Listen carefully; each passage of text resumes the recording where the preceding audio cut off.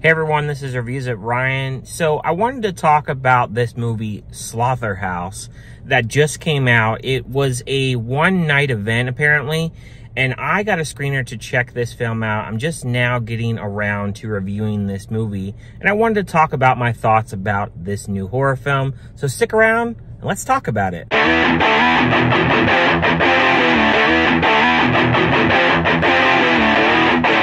This trailer went viral. And actually, I actually found this trailer on Facebook. And another YouTuber of mine, I tagged him in it, and he said he got a screener for it. So I ended up getting a screener as well. And I really was interested in this movie, mainly because a sloth going around killing people, that sounds absolutely ridiculous.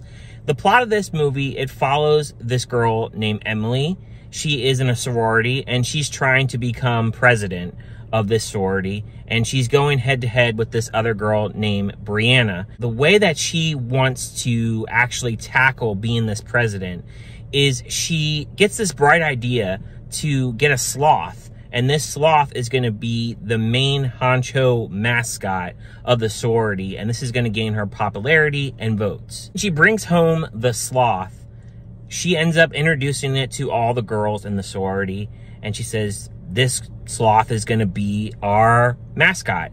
And of course they do a vote and everybody in the group pretty much agrees for the most part that they can have the sloth there. As you would expect the sloth ends up killing a bunch of different girls throughout the movie now i will say this positives about this movie I do like the effects in this movie. I liked that the sloth was a puppet. It was also interesting too because sloths, they move slower.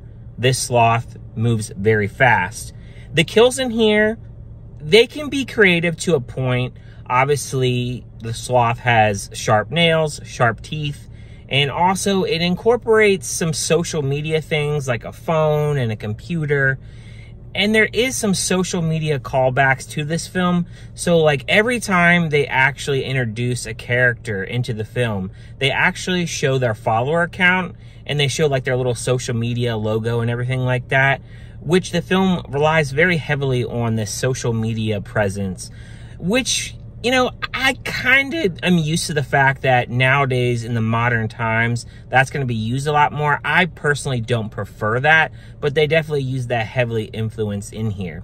Now, as far as kills in this, I would say most of the kills in here, they definitely are off screen a lot of the times. You'll see a little bit of blood here and there, but it's not a very gory film. So if you're looking for gore, this is not that kind of film. And the film also is very goofy. And I say that because, for instance, there is a part where they play this song. And if you ever watched a movie like 10 Things I Hate About You, and they have kind of like that romantic, punkish kind of music, they have that in one scene and all the girls are getting killed off. And it's very goofy because the girls, they'll be dead. And it looks like they have like a bunch of like marker on their face or something like that. And that's supposed to represent blood. So it's very goofy in that. And I think that's where the film it takes me out because I wanted it to be a little bit more serious with the kills. The other problem with this film too is the acting itself. It's pretty bad.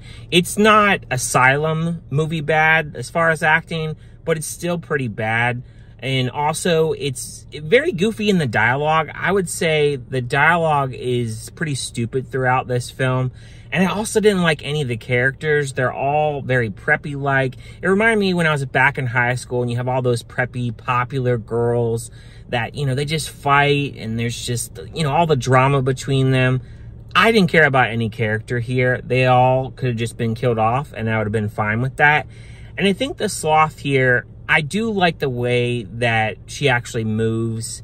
Overall, for me, for this film, it's not that great of a film. I feel like pacing wise, it could have been a little bit better. My son, he actually sat down and he tried to watch this with me and he actually tapped out. He wasn't getting into it. And I can understand why. The characters, they're very obnoxious at times.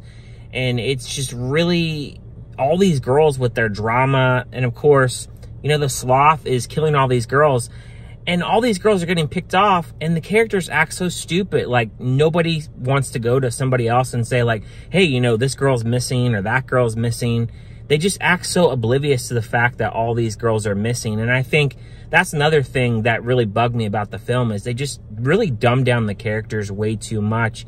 I think for this kind of film, you really have to be into spoof comedy kind of films if you really aren't into horror, I think you can actually watch this because I don't really think it's that violent of a film. A little bit of blood here and there, but I don't think it's like crazy amounts of blood. Obviously, it's a PG-13 film, so there's only so much they can do anyways. And I did also like the message towards the end of the film, especially involving the jungle and saving animals and that kind of thing. I do agree with that message. So I did like that messaging about the film. But other than that, I didn't really care for the film that much. As far as a score, I would give it a one and a half out of five. I think it's watchable, but it's just too goofy for my taste. It's not scary in the least. Although I will say some practical effects are decent at times.